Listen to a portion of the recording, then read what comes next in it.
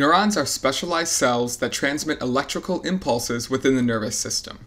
The nervous system itself is broken up into two parts the central nervous system, which is made up of the brain and spinal cord, and the peripheral nervous system, which includes all of the extending neurons that branch off of the central nervous system. These two systems work together to receive and send signals that allow you to perceive and react to your surroundings, among many other things. Structures of individual neurons are very specific. The main parts include the dendrites, the cell body or soma, which contains the nucleus, the axon, and the axon terminals. When electrical signals are sent through a nerve cell, they always travel in one direction from the dendrites to the axon terminals and cover all of the space in between. Neurons, like I have said, send signals through their cells to other neurons. But what exactly is the signal they are sending? Interestingly, the signal is an electric one. That's right, your body generates electricity and moves it so fast we couldn't dream of seeing it with our own eyes. So, how does this work? Electricity is all about charges and carrying them from one area to another. Within normal electricity outside of our body, like the electricity used to charge your cell phone, negatively charged electrons are moving across the particles within the wire. This in turn has the power to charge the battery in your phone. The electricity in your body works a bit differently, but the concept is the same. Charges are moved from one area to another, only this time they are not electrons. Charges in the body are created by negative and positively charged atoms, also called ions. When these charged particles move across the cell membrane, they change the voltage inside of the cell.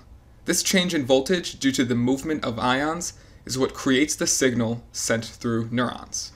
Now that we know the basics of neurons and how they send signals, it's important to understand how the signal actually works.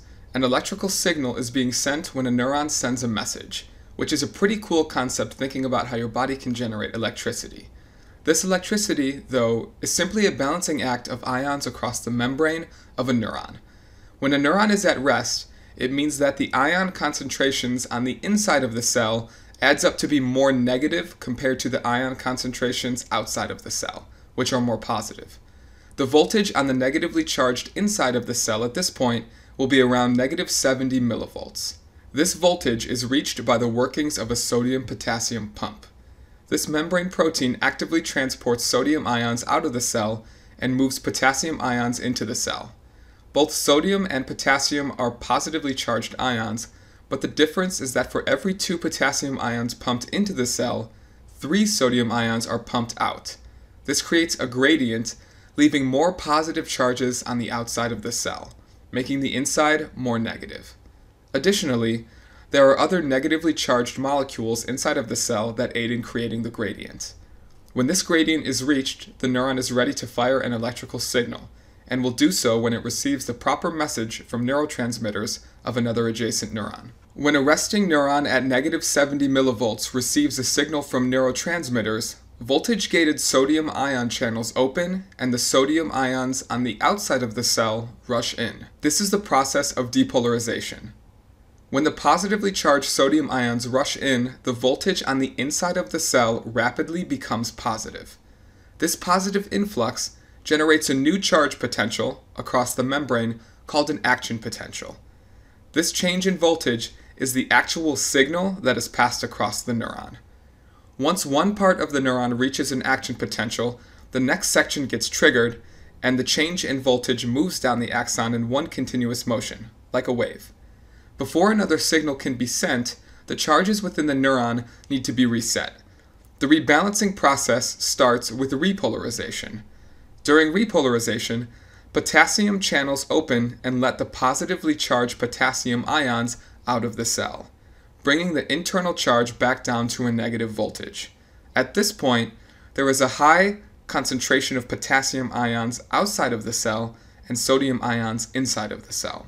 To fix these concentration gradients and bring the voltage back to negative 70 millivolts, the sodium-potassium pump works to restore the neuron back to its resting potential, again moving 3 sodium out for every 2 potassium in.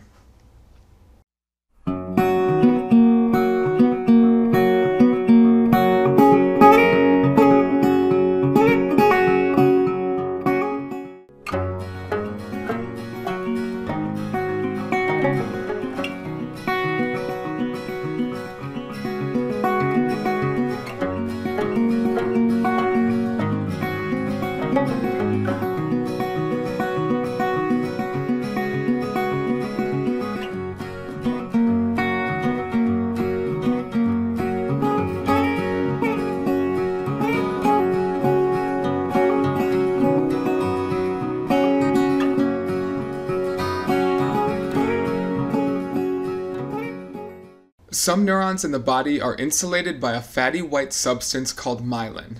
Myelin is a mixture of protein and phospholipids that is produced by glial cells, also called Schwann cells, in the peripheral nervous system.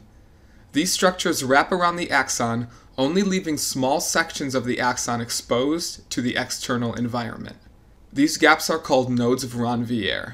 The benefit to having a myelin sheath is that an electrical signal can be sent through the neuron at a much greater speed. Instead of having the signal travel through the entire axon, the electrical signal jumps from gap to gap, skipping the space in between. This allows signals to be sent almost a hundred times faster compared to an unmyelinated neuron. The process of the signal moving across the gaps is called saltatory conduction. One downside to myelin is that it takes up a lot of additional space. This could be bad if space is a limiting factor in the body. When an electrical signal reaches the end of the axon terminals of one neuron, a chemical signal is passed between a very small gap, called a synapse, to the dendrite of an adjacent neuron.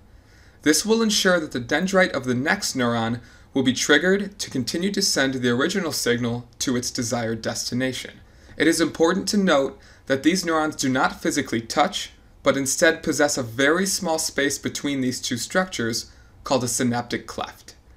When the signal reaches the end of the axon terminal, chemicals called neurotransmitters are released into the synaptic cleft. By chance, some neurotransmitters will attach to protein receptors on the dendrite of the adjacent cell. This will make the next nerve cell fire another action potential down its axon and to another nerve cell. A common example of a neurotransmitter is acetylcholine. This signal helps activate muscle contractions and is also associated with attention and waking up. With an understanding of how neurotransmitters and synapses work, scientists have developed methods for fighting off insects that damage crops by interrupting their synaptic transmission. Neonicotinoids are chemicals that can block acetylcholine receptors in insects. Due to the receptors being blocked, acetylcholine cannot bind to the dendrite of the next neuron eliminating the signal for the next neuron to fire. This means that the nervous system of the insect will stop working because the signals can't be sent. In addition, the enzymes that break down acetylcholine do not work with breaking down the neonicotinoid chemicals, making the process even more damaging. This leads to paralysis and death of the insect. While neonicotinoids have been successfully used to protect crops from pests, there are some disadvantages to their usage. There have been links to the chemical and the reduction of honeybee populations, which is bad because bees are important pollinators in ecosystems, as well as a reduction in bird populations because their food source, the insects, are being killed.